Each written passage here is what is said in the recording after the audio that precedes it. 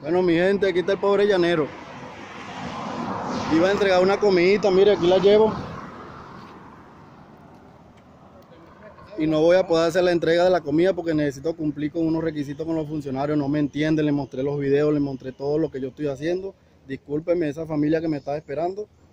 Ya no es mi culpa. Dios me lo bendiga y bueno, ustedes saben que cuente con el pobre llanero. Aquí llevo la comidita, mire, vean. Aquí está. Aquí llevo, aquí llevo la cámara, mire. A durar ni, ni 10 minutos allá.